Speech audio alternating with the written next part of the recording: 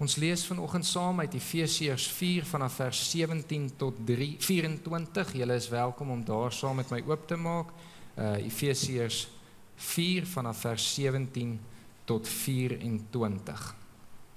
En sal ook op die skerms verskyn.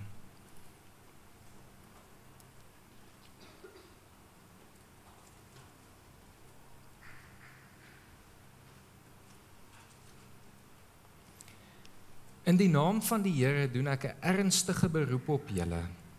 Moenie langer soos heidene lewe nie. Hulle gedagtes lei tot niks, hulle verstand is verduister en hulle het geen deel aan die lewe wat God skenk nie, omdat hulle hardnekkig in hulle onkunde volhard. Hulle het heeltemal afgestomp geraak en hulle met hulle het met 'n onversadigbare drang aan losbandigheid oorgegee om al wat vuil is te doen. Maar dit is nie hoe julle Christus leer ken het nie. Julle het tog van hom gehoor en omdat julle sy volgelinge is, is julle onderrig volgens die waarheid wat in Jesus is. Hou dan op om te lewe soos julle vroeër gelewe het. Breek met die ou sondige mens in julle wat deur sondige begeertes verteer word. Julle gees en gedagtes moet nuut word lewe as nuwe mense wat as die beeld van God geskep is, lewe volkome volgens die wil van God en wees heilig. Lewe as nuwe mense wat as die beeld van God geskep is, lewe volkome volgens die wil van God en wees heilig. Ek wil sien wie van julle het al 'n fout gemaak. Almal, ek sien ons een of twee wat se hande nie opgaan. Julle kan hoef regtig nie skaam te wees nie. Uh mens mag hier by die kerk erken jy het al foute gemaak. Ons ons vergewe mekaar hier. Almal het al foute gemaak. Maar dit is 'n aaklige gevoel daai oomblik wanneer jy besef ek het 'n fout gemaak. Op daai daai eerste oomblik. Daar's 'n gevoel van onsekerheid wat eintlik jou binneste oorneem met 'n klomp vrae wat opkom. Wat is die gevolge van hierdie fout? Hoe erg is die gevolge van hierdie fout? Kan ek iets aan hierdie fout doen? Kan ek hom nog regstel en as ek kan, hoe moet ek dit doen? 'n Klomp onsekerheid. En ek dink nie daar's eintlik 'n erge gevoel as die gevoel van onsekerheid nie. Om nie te weet nie, om nie te weet wat gaan gebeur nie. Nou wil ek sien wie van julle het al ten spyte van jou fout 'n tweede kans gekry. Daarom omtrent net soveel. Ek is bly daaroor. Anders anders sou ons plan moes maak. Jy weet dalk het jy fout by die werk gemaak en jy het gedink hier is my afdanking, dis klaar. En jou jou baas kom na jou toe en hy sê, "Weet jy, jy het jy het 'n groot fout gemaak, maar ons gaan jou nog 'n kans gee." En daai oomblik wat jy daai woorde hoor, is dit 'n gevoel van verligting. So dit gaan oukei okay wees. Daai daai gevoel Ek dink weer daar's eintlik nie 'n beter gevoel as daai verligting nie. Net soos daar nie 'n erger gevoel as hy onsekerheid is nie, is daar nie 'n beter gevoel as die gevoel van verligting nie. Met die wete dat die fout is nie die einde nie. Dit kan reggestel word. Jy word nog 'n kans gegee om dit hierdie keer reg te maak. Nou wil ek sien wie van julle het lekker nuwe jaar gevier glad nie so baie soos wat foute gemaak het nie. Miskien is daar 'n korrelasie, ek weet nie. ek het hierdie jaar nogal bietjie nagedink oor oor nuwe jaar. Mense is mal oor die nuwe jaar. Almal vier dit, almal is bly, almal is opgewonde, daar's vuurwerke, daar's partytjies. En ek het by myself begin wonder, maar hoekom is mense so opgewonde oor 'n nuwe jaar? Wat maak dat mense nou eintlik so bly is want op 'n manier beteken dit eintlik maar net dat die vakansie verby is dat jy binnekort gaan moet begin werk, dat die gejaag weer aan die gang gaan kom. So hoekom is dit dat mense so opgewonde en bly is oor 'n nuwe jaar? En in my nadenke het ek toe agtergekom dat dit miskien te doen het. Ek vermoed dit het met my eerste twee vrae oor foute en tweede kansse. Ons is bly en opgewonde oor 'n nuwe jaar want dit gee ons 'n tweede kans. Dalk gaan hierdie jaar beter wees as 2015. Dalk gaan dit nou begin reën.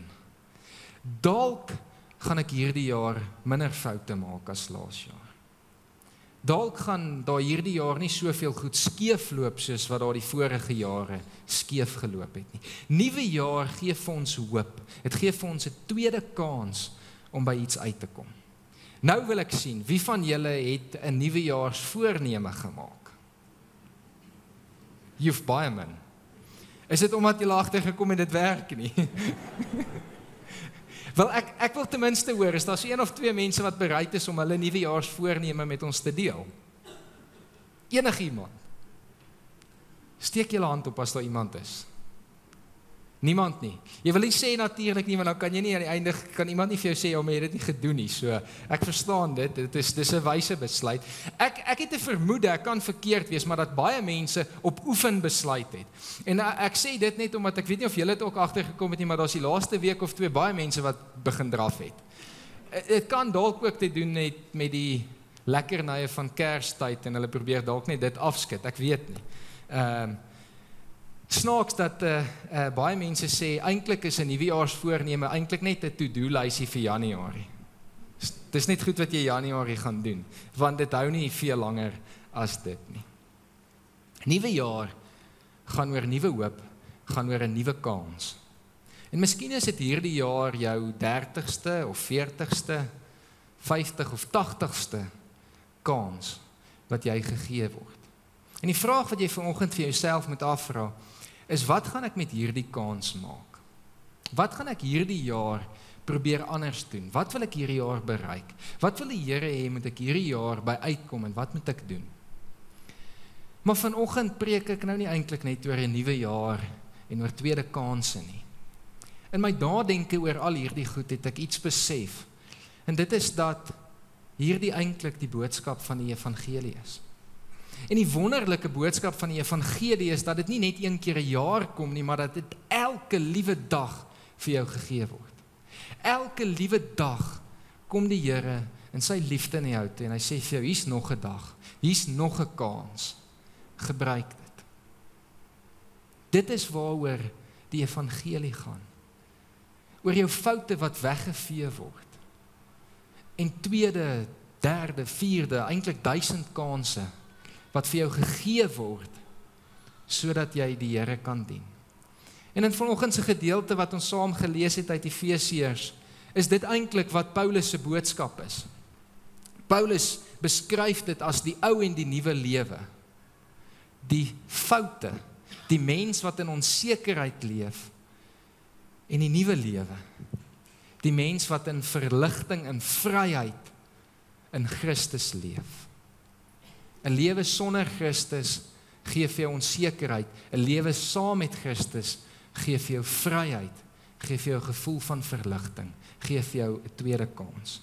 En dis eintlik 'n ongelooflike mooi gedeelte wat Paulus hier skryf. En as jy die brief mooi gaan lees voor die tyd, Efesiërs is nie 'n lang brief nie. Dit is dalk goed om hom sommer so in die volgende ruk deur te lees. Skryf hy eintlik al vroeër oor hierdie konsep en hy skryf omtrent in al sy briewe op 'n manier oor hierdie konsep. En hy begin dan sê hy, julle is uit die dood uitgered. Hierdie ou lewe van jou is eintlik 'n lewe van dood. Daai gevoel, daai aaklige aaklige gevoel wat jy kry as jy 'n fout gemaak het. Dit is eintlik jou hele lewe as jy 'n lewe sonder Christus lei. En Paulus beskryf dit as 'n lewe wat lei tot die dood. Maar hy sê ons is gered daaruit, ons is weggeruk daarvan af sodat ons 'n lewe in vryheid kan leef. En dan skryf hy nou 'n klomp goedjies daaroor verder. Hy hy skryf oor 'n nuwe mensheid, oor 'n een eenheid wat ons behoort te hê wanneer ons nuwe mense saam by mekaar kom. En dan kom hy eintlik by hierdie gedeelte as die klimaks van sy boodskap oor die ou en die nuwe lewe. En hy begin hierdie klimaks met 'n baie baie interessante sin. Ek doen 'n ernstige beroep op julle. 'n ernstige beroep. Dit dit was iets wat jy jy amper met iemand as jy nou vir hulle gaan sê, "Hoor, kom, ek moet nou met jou praat." Jy jy moet nou alles los waarmee jy besig is. Moenie nou TV kyk of of uh, besig wees met iets anders nie. Ek het ernstig iets om vir jou te sê. En jy gaan sit oorkant mekaar. Dit is die trant wat Paulus hierdie op eintlik vir hulle probeer verkondig. En dan sê hy vir hulle: Moenie langer soos heidene lewe nie. Hulle gedagtes lei tot niks. Hulle verstand is verduister en hulle het geen deel aan die lewe wat God skenk nie. Hulle het nie 'n deel aan die nuwe lewe nie. Uh Petrus 2 Petrus beskryf dit as iemand wat aanhou sonde doen, is soos 'n hond wat na sy braaksel toe terugkeer. Hy vat dit uit Spreuke 26 toe. Iemand wat 'n Christen geword het en weer terugkeer na sy ou lewe toe. Is soos iemand wat soos 'n hond wat na sy braaksel toe terugkeer. Is eintlik nogal 'n grafiese grous beeld. Maar maar dit is wat wat hy gebruik om hierdie te beskryf. En Paulus sê moed dit nie doen nie. Moenie teruggaan na jou vorige lewe toe nie. En dit is in ons metafoor van volgens so goed as jy maak 'n fout, jy word 'n tweede kans gegee. Jy weet nou presies wat jou fout was en dan gaan doen jy presies dit weer eens. Jou baas gaan nie dalk weer dan so genadig wees en jou 'n tweede kans gee nie. God is wel. Maar Paulus sê moenie dit doen nie. En hy skryf hier aan 'n groep gelowiges wat onlangs tot bekering gekom het. Hulle bly in Efese, Efese wat 'n baie groot Griekse stad was, maar dit was 'n handelsstad gewees. So daar was baie verskillende kulture en volke en godsdienste met die implikasie dat daar ook baie verleidings was wat hulle aandag kon aftrek. Uh as jy vandag dit wil vertaal, moet jy amper 'n stad soos New York of Londen in jou kop hê. Uh daar's alles beskikbaar of Amsterdam. Daar's daar's enige ding wat jy aan kan dink is beskikbaar vir jou om elke hoek in draai. So dis nie noodwendig die ideale uh omstandighede of omgewing vir iemand wat net gelowig geword het uh om te probeer 'n Christelike lewenstyl te handhaaf nie. Inteendeel, die hele kultuur van die stad gaan eintlik teen jou draai. En vir jou sê wel as dit is wat jy wil doen, uh dan gaan jy nie regtig welkom wees hier by ons nie. Maar Paulus skryf en sê moenie daardie lewenstyl handhaaf nie. Moenie meer soos die mense van Efese leef nie. Vir my en jou vandag vertaal moenie meer leef soos die wêreld rondom julle leef nie. Moenie so leef nie, want dis 'n lewe wat leeg is. Hulle verstand is verduister, dit kom tot niks. So lewe is eintlik 'n lewe wat konstant onseker is. Daar's geen waarborge nie. Jy weet nie wat gaan gebeur nie. Jy leef in 'n emosie en 'n gevoel wat uiteindelik vir jou die dood bring. Want sê Paulus nee. Leef in Christus. Julle het tog vir Christus leer ken. Julle is onderrig in die waarheid van Jesus. Julle ken hom. Dan dink bietjie vir 'n oomblik terug aan daai eerste ruk wat jy tot bekering gekom het wanneer jy die Here in jou lewe aangeneem het is 'n ongelooflike tyd eintlik in 'n mens se verhouding met die Here. Daar jy jy's so 'n bietjie op 'n wolk soos 'n tiener wat verlief is. Dis gewoonlik hoe jy voel as jy net tot bekering gekom het. En Paulus sê eintlik vir hulle, hy roep daardie gevoel weer by julle want dit is eintlik die gevoel wat jy jou hele lewe moet handhaaf. Lewe in daardie vryheid. Leef in daardie emosie. Leef in daardie gevoel. En dan gaan Paulus verder en hy sê vir ons en ek wil dit dalk weer vir ons lees. Ek wil dit weer vir ons lees.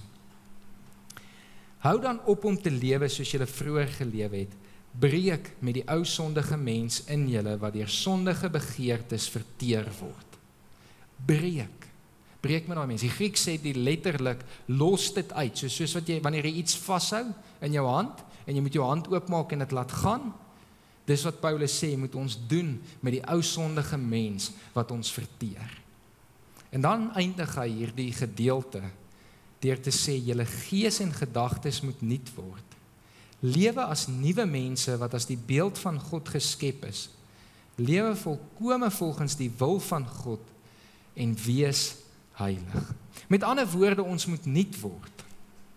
Ons moet nuwe mense wees, ons gedagtes en ons gees moet nuut word. En ons moet lewe volgens die wil van God en ons moet heilig wees. Ek het 'n vermoede sodra mens hierdie gedeelte lees, val daai vers 24, dan is daar 'n baie vinnige misinterpretasie. Want ons is nog reg om te hoor ons moet nuut leef. Ons is nog reg om te dink ons gedagtes moet nuut word. Ons gaan dit probeer. Ons is nog steeds reg om te hoor uh, lewe volgens die wil van God. Jy sê vir jouself ek gaan my bes probeer. En dan hoor ons die woord en wees heilig. En dan dink ons dis onmoontlik. Dan dink ons Paulus nou net ver gegaan. Ons kan nie heilig wees nie. Met ander woorde eintlik het jy die vorige opdragte ook al betwyfel. Jy het eintlik by jouself gedink, weet jy, ek gaan probeer volgens die wil van God leef, maar ek gaan dit nie reg kry nie. Om een of ander rede en ek weet nie lekker hoe nie, het ons as Christene begin om te dink dat sonde en sondige begeertes en ons foute, ons ou mens is sterker as die nuwe lewe wat God vir ons gegee het. En ek is nie seker hoekom dit in ons gedagtes so sterk hou vas gekry het nie. Maar vanoggend wil ek hê jy moet daai idees uit jou kop uit kry en jy moet daarmee breek. En ek wil so 'n bietjie gaan kyk na die na die Griekse gedeelte van hierdie want eintlik is die vertaling al reeds vir ons misleidend in die Afrikaans. Dit gebeur nie baie nie, maar dit gebeur ongelukkig en ek gaan vir ons net so twee uh gedeeltes uit uitsonder wat ons gaan bietjie gaan help hiermee. Paulus skryf in vers 24 en hy begin met die woord en ek wil ek wil hom nou net reg uitspreek wie hierso. En dusasthai. Nou hierdie Griekse woord is eintlik gebruik om vir iemand te sê trek jou klere aan. So Paulus is eintlik besig hier om 'n om 'n metafoor te gebruik wat die vertalers vir ons probeer vertaal het. Trek iets aan. En nou moet ons vra wat moet ons aantrek? En dan sê die Griekse vertaling, ek het dit sommer vir ons direk net gaan oorvertaal.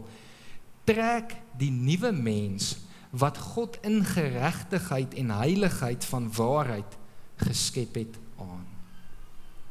As jy die Grieks gaan lees, staan daar met ander woorde dat die nuwe mens wat vir jou gegee is die oomblik toe jy Christus aangeneem het, is al reeds heilig.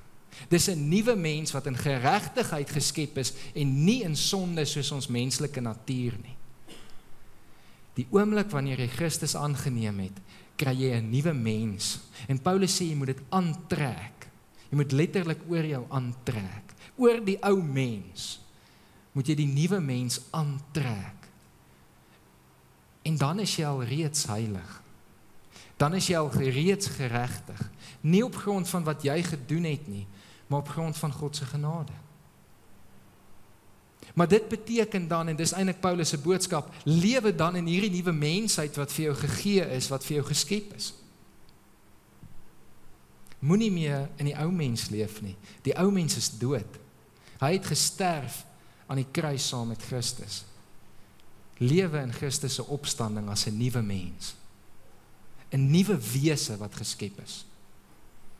En dan sal jy 'n nuwe gees ontvang sal jou gedagtes nuut word en sal jy volgens die wil van God outomaties begin leef. Nou die tweede fout wat mens kan maak is om te dink dat hierdie 'n gebeurtenis is. Dit is eintlik eerder 'n een eenmalige proses. Dit gebeur nie op een dag nie, vir party mense doen dit, maar vir meeste van ons is dit 'n proses wat deurgegaan moet word. 'n Proses waar jy stukkie vir stukkie elke dag wat jy nog 'n kans gegee word, nog 'n nog 'n geleentheid gegee word, die nuwe mens wat God vir jou gegee het aantrek. En hoe doen jy dit? Jy doen dit deur tyd saam met God te spandeer. Meeste van julle het nuwe nie 'n nuwe jaarsvoorneme gemaak nie. En dis dalk 'n goeie ding want dit is moeilik om daarby te hou. Maar as jy vir hierdie jaar iets anders in jou lewe wil hê. As jy wil hê daar moet 'n verandering plaasvind, dan kan ek vanoggend met groot vrymoedigheid vir jou sê, Die beste manier hoe jy dit gaan regkry is as jy tyd saam met ons Here spandeer. Ek weet nie wat jou spiritualiteit nie. Uh miskien hou jy daarvan om Bybelstudie te doen, miskien wil jy tyd in gebed spandeer, miskien uh moet jy na musiek luister of musiek maak, uh miskien moet jy in die natuur kom om die Here daar te beleef. Ek's nie seker nie.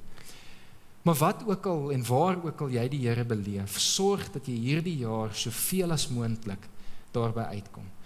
Tyd saam met die Here spandeer. Want jou gees kan net nuut word. Jy kan net daai nuwe mens aantrek wanneer jy tyd saam met die Gees spandeer. Daar's 'n ongelooflike misterieusheid wat ek nie vanoggend eers kan beskryf nie, maar ek hoop jy jy weet waarvan ek praat. Wat gebeur wanneer jy met die Here ontmoet? Dit is amper asof hy eintlik jou vernuwe. Dis asof hy stukkie vir stukkie in jou werk en stukkie vir stukkie die ou mens afbreek en die nuwe een laat vorentoe kom. Ek dink 'n mooi metafoor wat mens kan gebruik om dit te beskryf is 'n uh, 'n boom met 'n rankplant. Julle het dit al gesien, nê? Nee. Wanneer 'n boom groei, maar daar kom 'n uh, 'n uh, um, wat is die regte term nou vir daai plante? 'n uh, Parasiet eintlik, nê? Nee. Ekskuus.